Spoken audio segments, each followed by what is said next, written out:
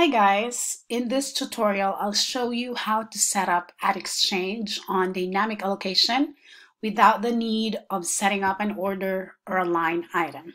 Before we start the process or the setup, here are the things that you need to remember. You can only do this if your ad manager account is mapped with Ad Exchange.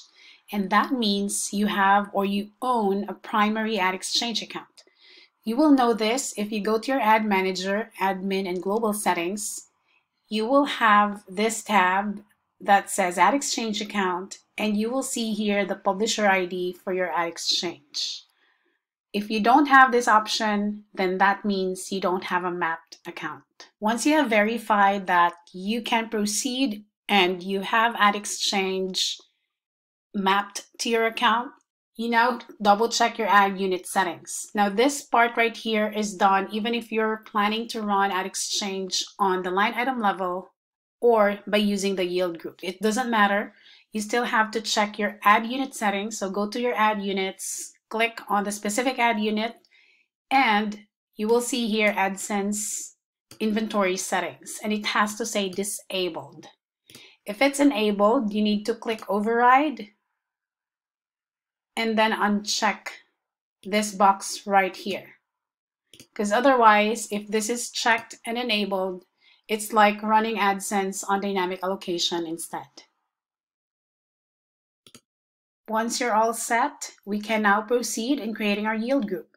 So on your delivery tab, click on yield groups and click on new yield group.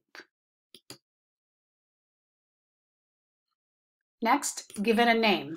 So let's say my site underscore yield group.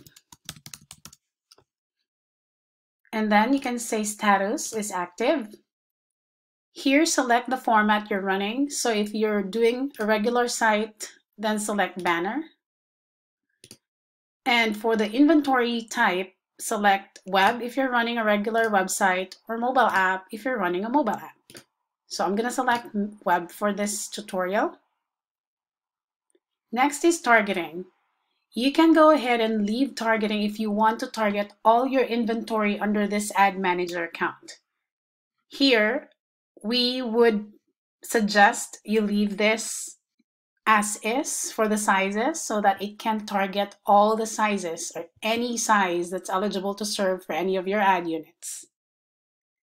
And then if you notice ad exchange is already active, you can add more yield partner here if you have any that is set up to run on exchange bidding in dynamic allocation or EBDA. We have a separate tutorial for that.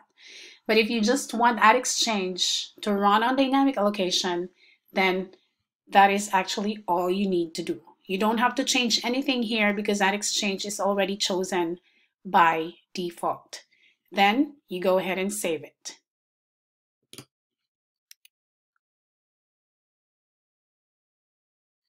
Once that's saved, you will see it here. And then the status should say active. Then you can run a report for it quite easily here. You just go to yield groups and click this. Then redirect you to the query tool and show you the number of impressions, estimated revenue, and CPM. Well, of course, we don't have data yet because this is new, but that was pretty straightforward. You can easily run your report there and you see all your stats and you didn't even have to worry about, you know, targeting the line item, targeting sizes and all that. And it makes the process a lot simpler. And there you have it. Ad Exchange is now running on dynamic allocation across all the inventory and all sizes for this ad manager account. Thanks for joining us today. We hope you enjoyed our presentation. Also, learn to monetize more by watching our tutorial series and reading our latest ad optimization tips.